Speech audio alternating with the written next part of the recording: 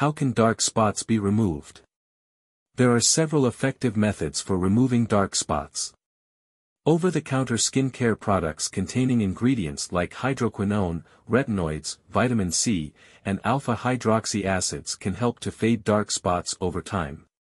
Additionally, professional treatments such as chemical peels, microdermabrasion, or laser therapy may also be effective in reducing the appearance of dark spots.